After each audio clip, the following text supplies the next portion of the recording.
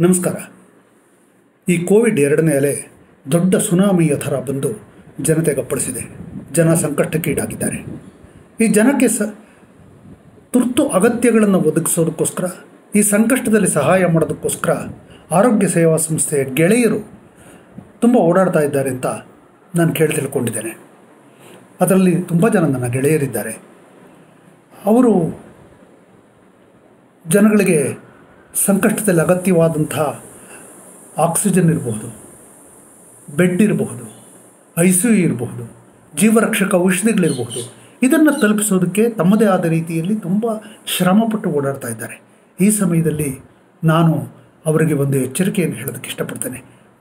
ಜನಗಳ ಆರೋಗ್ಯವನ್ನು ನೋಡ್ಕೊಳ್ಳೋದು ಮಾತ್ರ ಅಲ್ಲ, ನಿಮ್ಮ ಆರೋಗ್ಯವನ್ನು ಕೂಡ ನೀವು ನೋಡ್ಕೋಬೇಕು.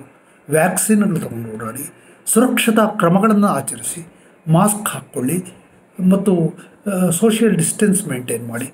ಎಲ್ಲ ಕಡೆ ಸುಮ್ಮನೆ ಹಾಗೆ ವಿಪರೀತ ನಿಮ್ಮ ಆರೋಗ್ಯದ ಕಡೆ ಗಮನ ಕೊಡದೆ ನೀವು ಕೆಲಸ ಮಾಡಬಾರ್ದು. ಮತ್ತು ನೀವು ಸಂಕಷ್ಟದಲ್ಲಿ ಜನಕ್ಕೆ ಸಹಾಯ ಮಾಡ್ತಾ ಇರೋದಕ್ಕೆ ನಿಮಗೆ ಕೃತಜ್ಞತೆಗಳನ್ನು ಹೇಳೋದಕ್ಕೆ ಇಷ್ಟಪಡ್ತೇನೆ. ಹುಷಾರಾಗಿರಿ. ಸ್ಪೇ ಸೇಫ್